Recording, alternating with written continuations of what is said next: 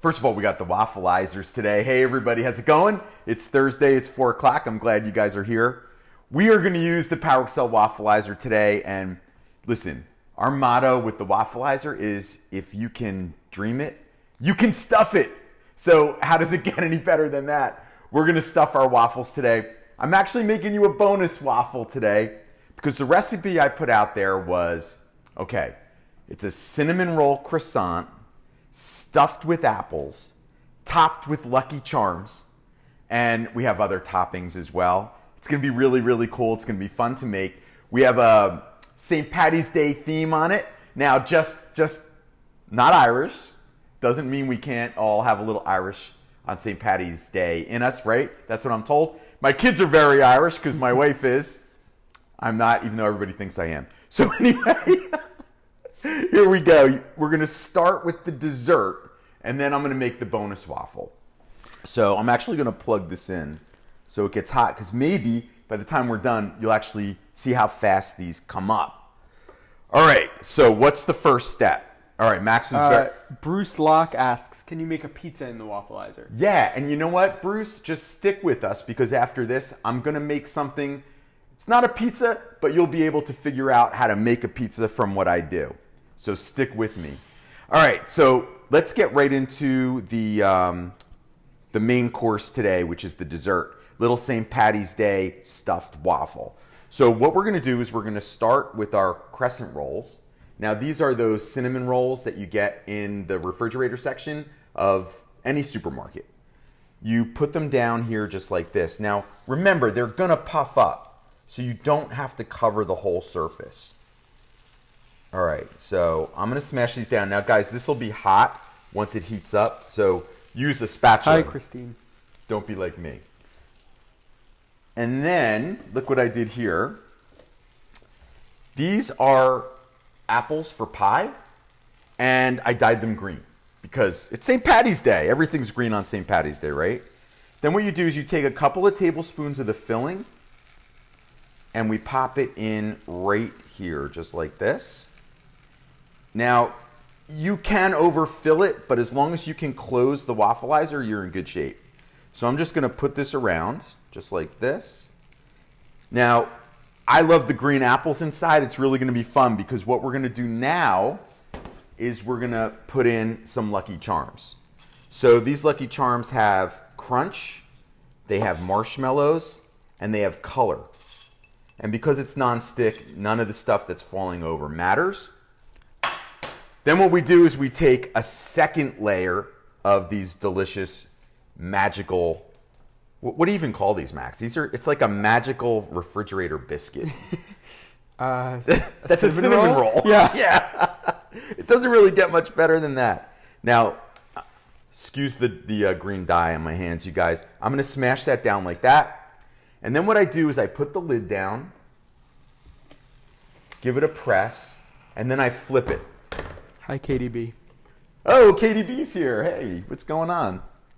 So now I'm not even gonna clip it because when you're using the dough, you don't really need to clip it. When you make waffles, because it's batter, you wanna clip it. But with the dough, you don't need to clip it because what's gonna happen is just the weight of the waffle will be enough. And you'll see this is gonna come up. It's actually probably just a couple of minutes. I'll be able to lift the lid so you guys can see what's going on inside. Now, we did, that was the main course, but we're not done with this yet because you're gonna see the finished product and how we're gonna serve it. Now, I think it was Bruce asked about making pizza. Well, this is what we're gonna do. I'm actually gonna make a corned beef and Swiss pizza, stuffed waffle pizza, right? So uh, it's really simple. Now, here I'm using pizza crust. This is the refrigerator dough pizza crust. Again, it's like a marvel of magic that Pillsbury or somebody created, and uh, it doesn't really get much better. So I'm going to show you. I'm going to take it right out of the can because I love this. Now, my friend David Venable over at QVC, he calls these wampum because you get to womp it. I love doing that. So every time I, I do this, I think of him. So I just womped it. And let me show you how easy it is to make a stuffed waffle pizza. Now I lay the dough down just like right here, just so it's gonna expand so you're in good shape. Then I'm gonna take a lot because I want a nice stuffed pizza. I'm gonna put the corned beef down. I'm gonna put a ton of cheese. Look, that's a lot of cheese. That's four slices of Swiss. I'm gonna top it with more corned beef. And then I just take the dough and I'm just gonna flip it right back over and tuck it in. You're gonna be shocked how quickly this comes up. We're gonna serve this just with a plain mustard because it's just a sandwich, right? You can see, see how that's popping open like that? That's really cool. All right, so while these are cooking, I'm gonna take uh, one of them out. I think I'm gonna take the, uh, let's take the uh, St. Patty's Oh. version out first. What do you got, Max? Bruce Locke um, Yeah. asks how the lights work on the wafflizer. Oh, that's a great question. All right, so if you come up here, I actually have to flip it. So the red light now, because it's flipped, is just telling me that it's on. But on this side, I have a red and a green light. So when I plug it in, the red light comes on. I don't put my filling in, say I'm making waffles, until the green light comes in. The green light tells me that it's time. I can put my food on the in, inside the waffle. Now, it does not tell you when it's done, and I'm going to show you why because it's a stuffed waffle. We didn't want you to just be stuck making waffle batter. So I'm making crescent waffles. We call them croffles. I'm making pizza waffles. I'm making all sorts of different kinds of waffles with different kinds of dough. So we wanted to be able to uh, do all that, and we didn't want to confuse you with having a timer on it. So, with that said, now I made this ahead of time. I'm just keeping it warm. Now you could see all the green popping through on the top. And the fun part about making the waffles is you never know what they're going to look like inside till you cut them open. Now this is Max's favorite part because I, I'm going to top it. Now look at that.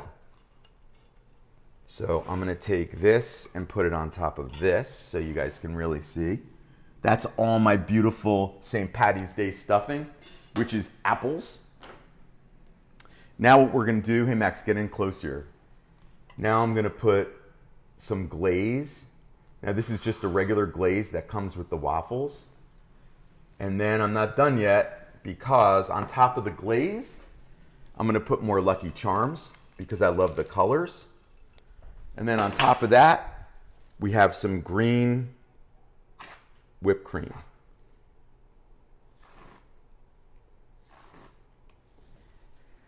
Now, if that doesn't look like a St. Patty's Day treat, you guys, I don't know what more I can do, but um, I think that looks pretty fun and pretty delicious.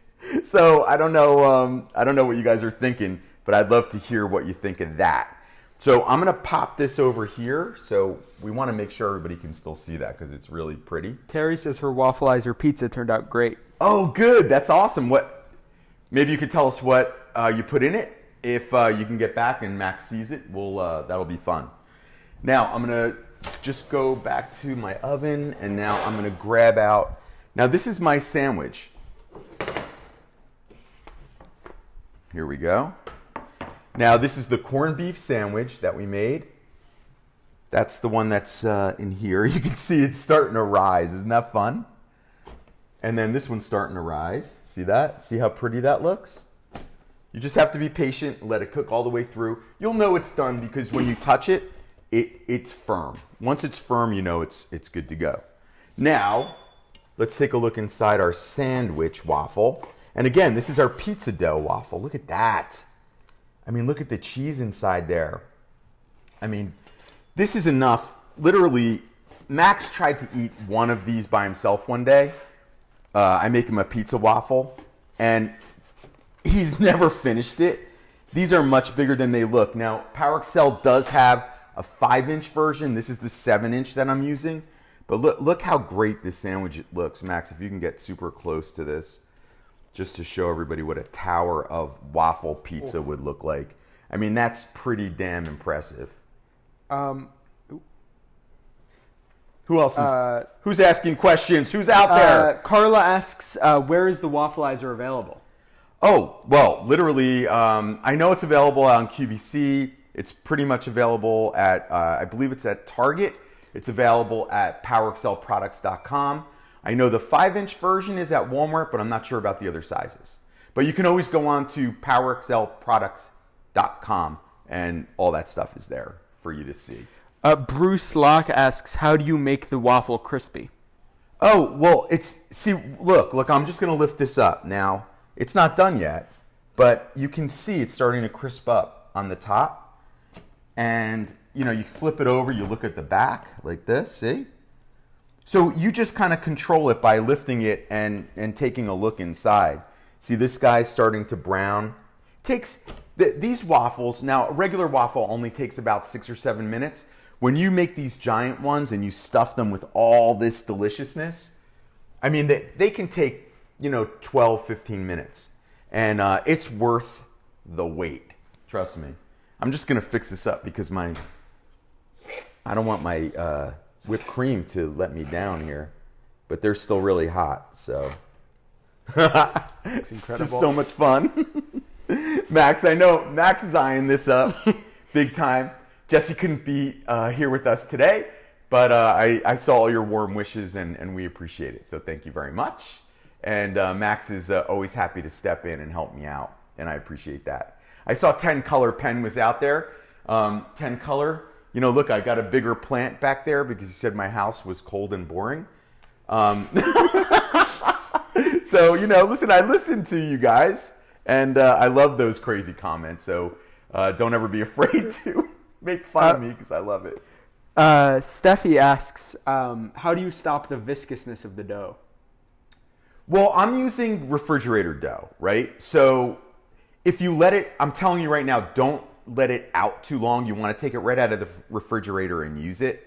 So um, you're, you're literally taking it out of the fridge, opening it, putting it inside, and then it's cooking. So you're not going to have any trouble at all. The only trouble that you can have is that you didn't cook it long enough. And cooking it long enough is literally just a question of turning it around and taking a look to see. Now you can see this is still white, so it's not ready yet. We want it to look like this one. And um, you just do that by waiting. it's pretty foolproof, really.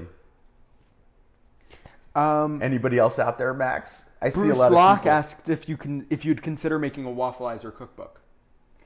Well, that has been discussed. So um, we are we're talking about that. Um, this product ships with a fair amount of recipes. I want to say at least off the top of my head, I think it's about 20 or 25 really cool ones. And then once you kind of get into the book that we we ship in with it, you will kind of understand all that you can do. I mean, we literally do everything from um, like we take uh, chicken nuggets, we put chicken nuggets and French fries and stuff that inside a waffle.